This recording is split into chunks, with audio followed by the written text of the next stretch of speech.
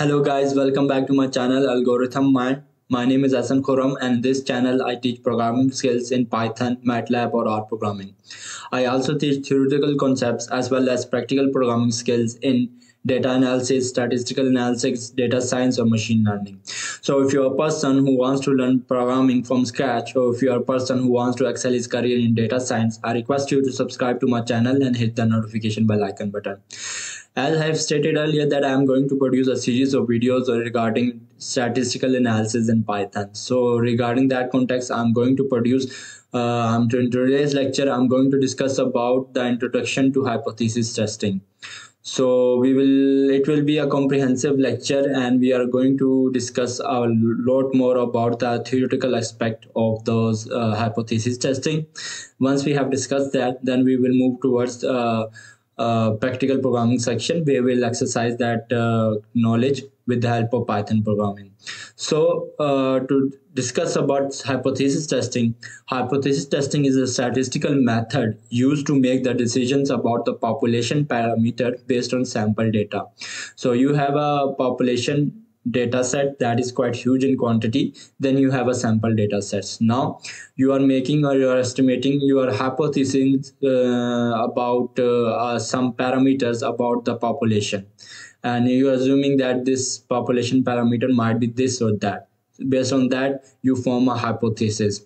And in order to evaluate whether that hypothesis is true or false you will use sample data instead of population data so at its core it involves comparing a hypothesis or a claim about a population parameter to the evidence provided by the sample data the goal is to determine whether the observed data provided enough evidence to reject or fail to reject the hypothesis so we have a problem. Based on that problem, we will formulate a hypothesis.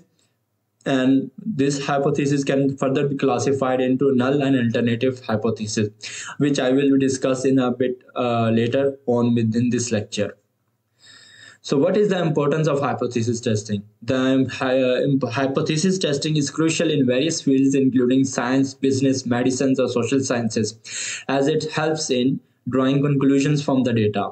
Hypothesis testing provide a systematic way to evaluate competing theories or hypotheses based on empirical evidence. Uh, it helps make informed decisions. By testing hypotheses, we can make decisions with confidence uh, interval about population parameter, which is essential for effective decision making. Finally, it assesses the validity of the theories. Hypothesis testing allows researchers to assess the validity of theories or claim about a population by subjecting them to empirical scrutiny. So now you understand the concept of hypothesis testing and what is the importance of hypothesis testing. Let's move on and discuss about t-test, which is a one of a way how we can actually test a hypothesis and which will help us to identify whether this hypothesis is true or false. So we have first we have t-test. A t-test is a statistical test used to determine if there is a significant difference between the mean of two groups. It is commonly used when the sample size is small or when the population standard deviation is unknown. So basically it is used to determine whether there is significant difference between the means of the two group. So let's move on and actually discuss about what is actually alternate hypothesis and what is null hypothesis. In hypothesis testing we start by defining two hypotheses. First one is null hypothesis. This is the default assumption about the population parameter. It represents the status quo or no effect at all the null hypothesis typically states that there is no significant difference between the means of the two groups. So the two groups we are actually comparing, the so the null hypothesis states that there is no significant difference between the means of the two group. Or in other context, we can say that there is no effect of one variable on another variable. So they are not correlated or there is no any correlation between those two variables. So that's what we do in null hypothesis. So let's move on and discuss about alternate hypothesis. So this is the hypothesis that contradicts the null hypothesis. Okay it contradicts the null hypothesis assumption. It represents the researcher's claim or effect of interest Remember that the choice of null hypothesis and alternate hypothesis depends on the specific research question and the, to the context of your data. adjust these hypotheses accordingly based on your scenario so this null hypothesis and alternate hypothesis um, will change based on the problem you are currently facing and you're trying to solve it through the help of data for example a null hypothesis could be says could be that we can say that the two variables are not uh, linearly related. There is no correlation between them. So that's the null hypothesis. What would be the alternate hypothesis? Is to reject the null hypothesis and we say that there is a correlation between the two variables and they are linearly related so that's what we mean by null hypothesis and alternate hypothesis. Now you know understand what is hypothesis testing how we formulate null hypothesis and alternate hypothesis what kind of tests we do in order to evaluate null hypothesis and uh, alternate hypothesis. But how do we actually evaluate the, that whether we should reject the null hypothesis or we should accept the null hypothesis? This is where p values alpha level of significance comes handy so i'm going to help you understand those concepts with the help of simple definitions. So the p-value is the measure used in hypothesis testing to determine the strength of evidence against the null hypothesis. It represents the probability of observing a test statistics extreme as or more extreme than, than the observed one, assuming then the null hypothesis is true. Basically, it means that it observes the probability of having the extreme case when we assume that the null hypothesis is true. When we assume that there is no difference uh, between the two main groups or when they assume that there is no correlation between the two variable. In that case we observe that what is the extreme value of having that there might be some case that there is a correlation between the two variables or the mean of the two groups is, uh, varies significantly. So so p value signifies that aspect of uh, quantity on the other hand, if the p-value is uh, so if the p-value is small, typically less than the predeterminant threshold, often denoted as alpha, it suggests that the observed data are likely to occur under the assumption that the null hypothesis is true. This provides evidence against the null hypothesis that provides the evidence to reject the null hypothesis. On the other hand, if the p-value is large, it suggests that the observed data are reasonably likely to occur under the assumption that the null hypothesis is true true. In this case, there is a sufficient evidence to reject the null hypothesis. There is insufficient evidence to reject the null hypothesis. In that case, we have to accept the null hypothesis. So now you know about p-value. Now there is another term called level of significance alpha that determines the threshold whether to accept the null hypothesis or reject the null hypothesis based on the p-value. So basically this level of significance alpha is there to judge p-value whether to judge the p-value whether p-value is greater than a specific value whether p-value is less than a specific value. So the level of significance denoted as alpha is the threshold used to determine whether the p-value is small enough to reject the null hypothesis. It represents the maximum acceptable probability of taking a type 1 error which is the error of rejecting the null hypothesis when it is actually true okay? So it's, it's it is the probability of making a type 1 error. And what is the type 1 error? It is the error of rejecting the null hypothesis when it was actually true. Commonly used values of alpha are 0.05 which is 5% and 0.01 1% these values indicate the acceptable risks of falsely rejecting the null hypothesis. Choosing the appropriate level depends on the various factors including the consequences of making a type 1 error and the standard of the specific field of discipline. Now you understand the concept about uh, p-values, now you understand the concept about alpha. How you can actually use p-values and alpha to make your final decision in conclusion to accept or reject null hypothesis. So if the p-value is less than or equal to alpha, it is conventionally considered statistically significant. This indicates that the observed data provides strong evidence against the null hypothesis and therefore we reject the null hypothesis in the favor of alternate hypothesis. Conversely, if the p-value is greater than alpha, we, we fail to reject the null hypothesis.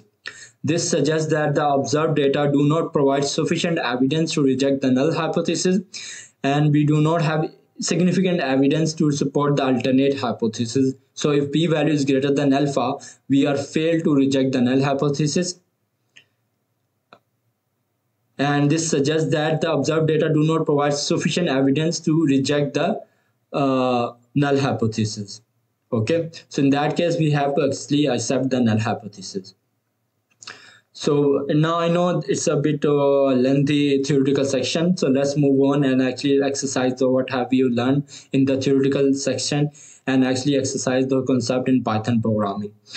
So in order to exercise those concepts in Python programming, first of all, I'm going to import important libraries which I'm going to use in order to exercise those concepts. The first library I'm going to import is import NumPy as NumPy. Uh, NumPy is an important library in Python which is uh, useful for numeric computing and also doing uh, array operations. So I'm going to import NumPy by using this Python statement here, import num NumPy as NP. Then I'm also going to import the function or more method t-test dot underscore ind which is used to perform t-test. And uh, I'm importing it by using from the module stats so which is a part of SciPy library. So I'm going to import this uh, function here by using this Python statement from scipy.stats import t-test underscore ind. So once we have imported our libraries what we are going to do we are going to generate some data based on which we are going to perform our hypothesis testing. So uh, first of all, I'm setting the random seed of the randomly number generated uh, is equal to 42. This Python statement here will help me ensure that whenever the script is run again and again, I will have the same numbers of random number generated irrespective of how many times the script has been run. This is useful for reproducibility where you don't actually want to, to have a different result when you are showing this result to someone else or even you want running this again script again again so we are setting the random seed of randomly number generated by using this Python statement here. NP random seed within those uh, round brackets I'm passing input argument 42. So once we have set that, now I'm going to uh, generate data for two groups, group 1 and group 4 group 2 uh, for in order to generate data for group 1 i'm going to initialize a variable named group 1 and i'm going to create its value by using a numpy method or function. We, where np stands for numpy random module and normal is the function. And i'm passing three input arguments to this function. Loc is equal to 10 scale is equal to 2 and size is equal to 30 the loc is equal to 10 will help us ensure that we are getting uh, random numbers generated from a normal distribution that has a mean of 10 so here loc is equal to 10 signifies the mean. Then we have scale is equal to 2 which will help us signify which will help us ensure that we are getting a random number from a normal distribution that has a standard deviation of 2 and the final input argument is the size is the number of uh, elements we want to generate. In our case we only want 30 elements to be generated. So this will uh, return us an array of 30 elements which has a normal distribution with the mean 10 and standard deviation of 2 and in the same way we are going to generate the data for group 2 but in for group 2 we are setting the mean equal to 12 instead of 2 so that's how I generated the data for group 1 and group 2 and once I have generated the data I'm simply going to print the first five values by using this index index notation here group 1 then square bracket and then uh, colon 5 so colon 5 it means that up to uh, the fourth index okay? So where 5 is not inclusive it will, will generate values from 0 to 4 so 0 1 2 3 and 4 so i'm generating 5 i'm printing just 5 values of group 1 and group 2 now, once I have generated data and printed its value, let's move on and actually conduct our test.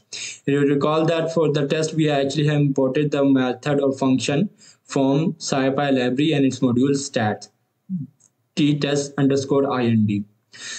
I'm, uh, first of all, I'm initializing two variable t statics and p value, and I'm getting its value by calling the function t test underscore ind and I'm passing two input argument. The first input argument is the group one data and the second input argument is the group two data. So basically it's the two groups I actually want to compare by using t test and it will return as a value of t statics which is the measure of difference between the two means of group uh, considering their within group variance. Then we have p-value which is uh, again I have started, uh, discussed in detail about the p-value significance of p-value, uh, which is the statistical significance for considering the to we considering that uh, extreme case in considering the assumption that null hypothesis is true. So after like running this block of code here, I will get the values of t static and p value once I get the value of t static and p value, what I'm going to do, I'm simply going to print those values with the help of this simple print function. I am setting alpha is equal to 0.05 in our case. And uh, once I've set alpha, then I'm going to simply print the values of uh, alpha, t statics and p value. Now you can see that the value of p is quite less than 0.05 or quite less than alpha. Our value of p is 3.17 exponential 5 and the value of t static is minus 4.5129 now based on those p value and alpha we are going to assess our hypothesis. Uh, we are going to judge whether we should accept the null hypothesis or whether we should reject the null hypothesis. So in that case we are going simply going to use if and else statement. We will write if statement and then we are passing the condition here p value if p value which we have calculated by using t-test is less than alpha, which we have defined earlier 0.05. If that's true, print reject the null hypothesis and group has different means. and if that's not true, if p-value is greater than alpha or equal to alpha, we say that we fail to reject the null hypothesis or which means that no, there is no significant difference between the means of the group. in our case, uh, p-value is actually greater than alpha. So we say that uh, uh, p value is less than alpha. So we say that we reject the null hypothesis. An alternate hypothesis accepted. The group have a different means. That's how you can actually uh, conduct a hypothesis testing in python programming and finally we are going to print a value of p by using this print function and I'm using fstring method. So for those of you who don't have an idea about fstring method fstring method help us allow allow us to embed uh, variables within a string text for in order to use f string method we are first of all i'm going to write f then i'm put quotation mark then i'm going to write whatever the text we i want to display. Then for the variable that i want to embed in the string i'm passing it within the curly brackets. And and then I'm finally i'm declaring the variable which i want to embed in the string.